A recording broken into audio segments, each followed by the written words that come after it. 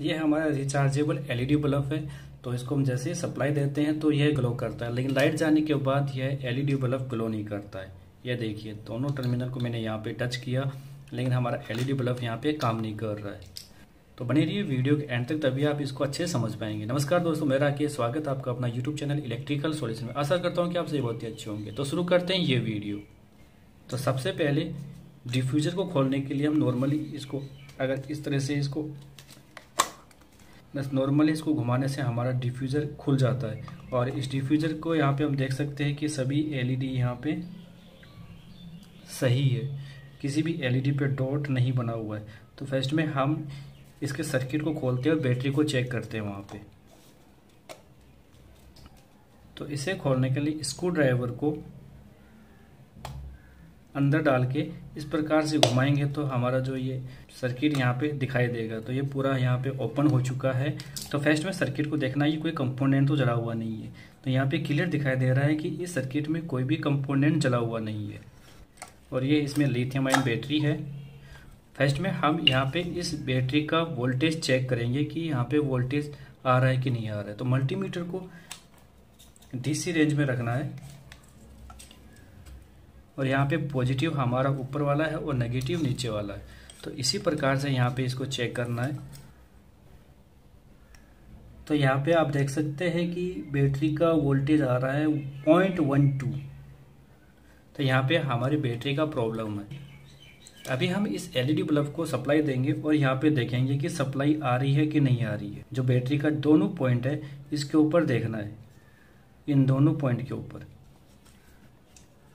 LED bulb को मैं यहाँ लगा दिया हूँ और सप्लाई देने से पहले दोनों प्रोब को मैं यहाँ पे ले रखा हूँ। यहाँ पे कन्फ्यूज़न नहीं करना है। जो बैटरी के दो टर्मिनल यहाँ पे आपको दिखाई दे रहे हैं पॉजिटिव और नेगेटिव है तो यहाँ पे ये वाला पॉजिटिव है ये वाला नेगेटिव है। तो पॉजिटिव में पॉजिटिव प्रोब और नेगेटिव में नेगेटिव प्रोब को लगाना है। तो मैं यहाँ पे इसको ऑन कर दिया हूँ। बैटरी के लिए आउटपुट सप्लाई यहाँ पे मिल रहा है, लेकिन बैटरी यहाँ चार्ज नहीं हो रही है।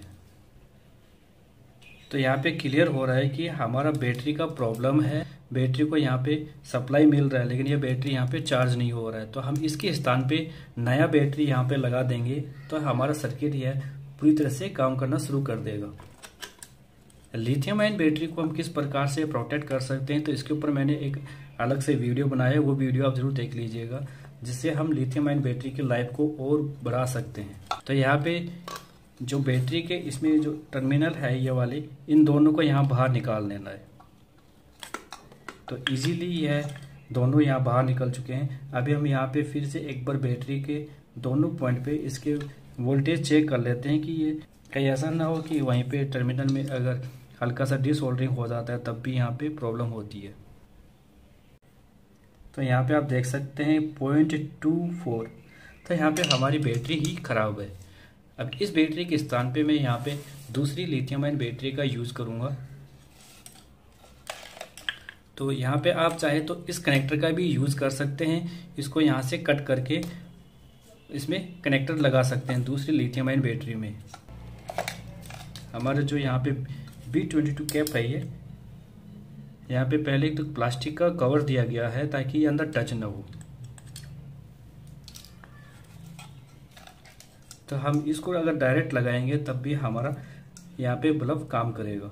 तो यहाँ पे शॉर्ट सर्किट का तो कोई इसमें लग नहीं रहा है तो हम यहाँ पे इसी को ही अंदर फिट कर देंगे। इस बैटरी को इस प्रकार से लगाएँगे कि ये ऊपर की तरफ़ ऐसे रहे सर्किट यहाँ पे। बहुत इजीली इसमें यहाँ पे यह बैटरी अब इस प्रकार से फिट हो जाएगी। तो बैटरी को यहाँ पे अंदर की तरफ़ धक्का देना है। अभी हमारा बैटरी यहाँ पे बैठ चुका है और ये दोनों वायर को यहाँ पे हम बाहर निकाल देंगे। तो यहाँ पे हमारे दोनों वायर बाहर निकल चुके हैं और यहाँ पे ये जो हमारा ये वाला पॉजिटिव है आईसी के पास वाला हमारा नेगेटिव है। तो वायर को इसी हिसाब से यहाँ पे कट करना है। तो आप देख सकते हैं जो हमारा यहाँ पे एक्स्ट्रा वायर था तो उसको हमने यहाँ पे कट कर दिया और जो बैटरी के दोनों वायर हैं इनके ऊपर अच्छे से सोल्डरिंग करना है और उसके बाद हमें इस पॉइंट के ऊपर इसको कनेक्ट करना है। तो यहाँ पे हमने दोनों पॉइंट के ऊपर सोल्डरिंग कर लिया है और यहाँ पे जो ये वायर है, यहाँ पे ये वायर ज़्यादा एक्स्ट्रा नहीं होना चाहिए, नहीं तो यहाँ पे शॉर्ट सर्किट हो सकता है। अभी हम यहाँ पे नेगेटिव में नेगेटिव और पॉजिटिव में पॉजिटिव को कनेक्ट करेंगे। तो ये वाला पॉइंट इसका नेगेटिव था तो यहाँ पे मैं नेगेटिव वायर को सोल्डर कर देता हूँ।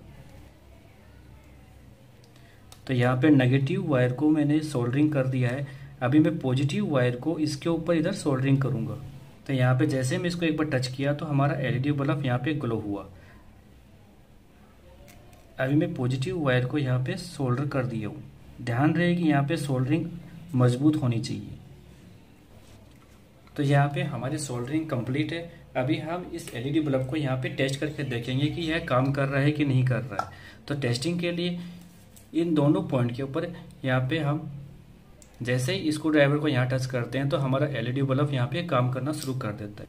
तो इस रिचार्जेबल एलईडी बल्ब में सिर्फ़ बैटरी का प्रॉब्लम था, जिससे हम इसको प्रॉपर यूज़ नहीं कर पा रहे थे। तो अभी हम इसको कनेक्ट कर दिया यहाँ पे, अच्छे से इसको कवर लगा दिया है। और जैसे दोनों पॉइंट के ऊपर हम यहाँ पे जैसे इसको टच करेंगे तो हमारा एलईडी बल्ब यहाँ पे काम करना शुरू कर रहा है। और लाइट जाने के बाद हम इसका पुनः यूज़ कर पाएँगे। उम्मीद करता हूँ यह वीडियो आपको बहुत ही पसंद आए लाइक कीजिए। इस वीडियो से संबंधित अगर आपका कोई सवाल या सुझाव है तो आप हमें कमेंट बॉक्स में पूछ सकते हैं। साथ ही अगर आपने हमारे चैनल को सब्सक्राइब नहीं किया सब्सक्राइब कर लीजिए। ऑल बेल आइकन को भी ऑन कर लीजिए ताकि आने वाली हेल्पफुल वीडियो का नोटिफिकेशन आपको मिलता रहे। इस वीडियो में इतना ही। धन्यवाद दोस्तों। मिलते हैं फिर एक नई वीडियो में। जय हिंद।